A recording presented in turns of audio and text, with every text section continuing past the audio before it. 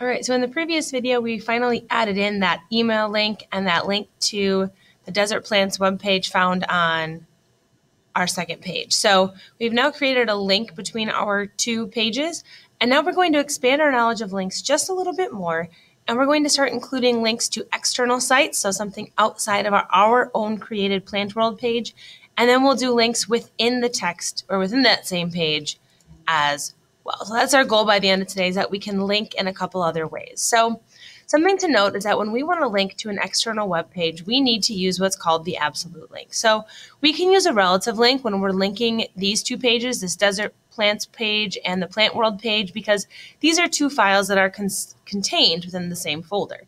So it can be a relative link of just the last piece, which is the file name.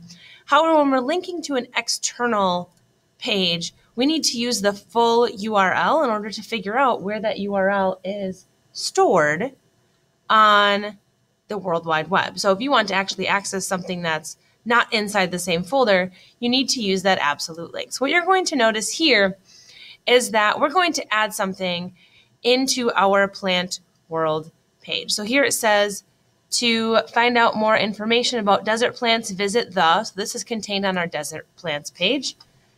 And it says to find out at the very, very bottom more information about desert plants, visit the Arizona Sonora Desert Museum webpage.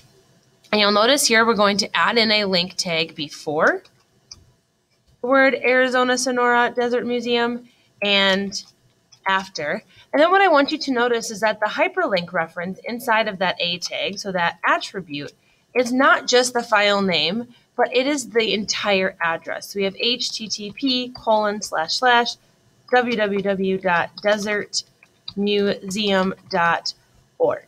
Now it needs to be the entire thing or it will not work.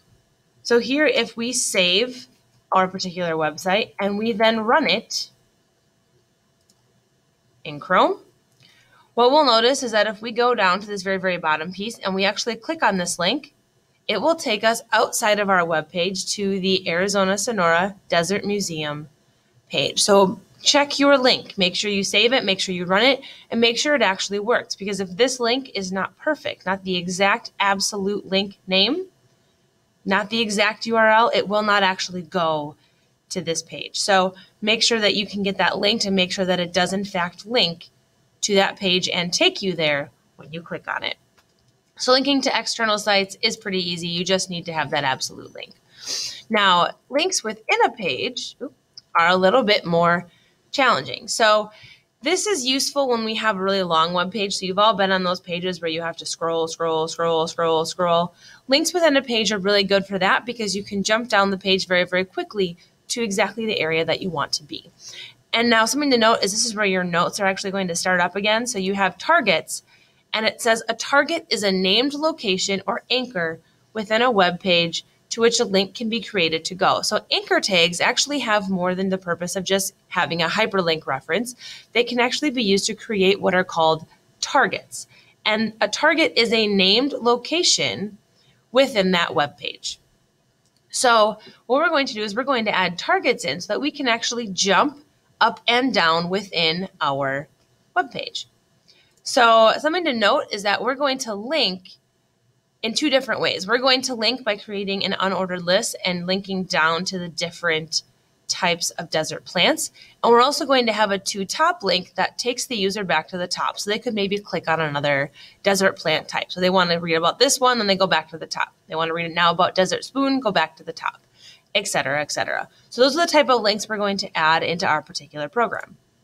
So first, creating a link uses what's called the name attribute. So you'll notice here that I have that same anchor tag open and closed, but I have a name equals, and then I have the target name inside of that attribute. So if I want to create just a target, not necessarily any text on the page, but just a location that's identified as special as a target that I want to link to that location, I'm going to use an anchor tag with a name So something to note is that we don't use that href or hyperlink reference attribute here because we're not actually linking to a location. This is where we're actually creating a location to link to.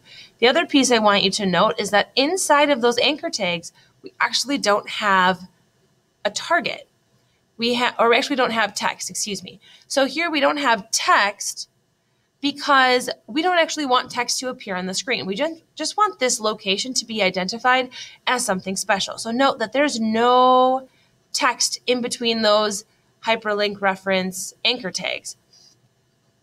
We actually are just going to have anchor tag, anchor tag with no text in between. So what we're going to do at this point is we're going to actually create some targets of our own. So if you go right to where the beginning of the Agave Americana website part starts, we're going to add in a target here. So you'll notice here I'm just going to add in a very simple anchor tag and then close it. And then what I'm going to do is I'm going to add in a target name. So notice here that I have no text in between because no text needs to appear on the screen for this to take place. All I'm going to do is name this special location to be Agave Americana. So all this has done is created a very, very special named place. That's it. Nothing will appear on the screen. This is now just an identified location within my website. Now from here, what I'm going to do is right above this, you'll see it says start unordered list here. I'm actually going to create this list right now so that I can link from it. So I want you to type in this code very, very quickly. So you have your unordered list. You have a list item of agave americana. And then I'm going to, that's a list tag. Copy and paste that very quickly change that one to be desert spoon. Change that one to be golden barrel. And change this last one to be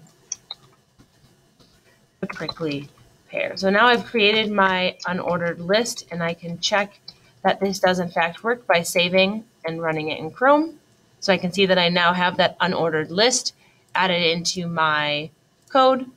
And now the next thing I'm going to do is I'm actually going to create a link out of this first agave americana tag. So what's going to happen is this is going to link us to this location and make the agave americana code appear right at the top of our web page, what we're currently viewing in the browser.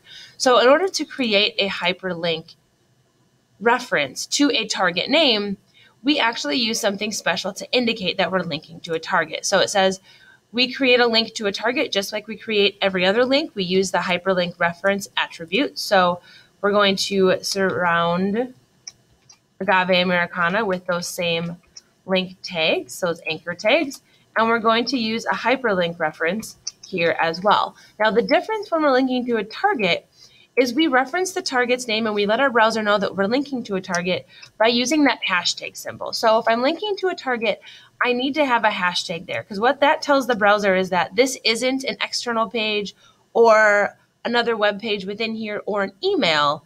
It is actually a target within this same page. So here we're going to link to Agave Americana. And this is saying, with the hashtag in front of it, look for the target agave americana within this same page. So now if I save and run in Chrome, I can see this has a link.